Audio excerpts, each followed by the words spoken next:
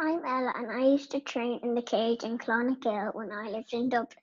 I'm talking to you now from Salthill in Galway. Congratulations to Clanna Gael Fontenoy for all their hard work on reaching us so early on Saturday morning. We are now heading across the Atlantic to the United States. Keep up the mileage from everyone here in Galway. Get involved, have some fun, do some good.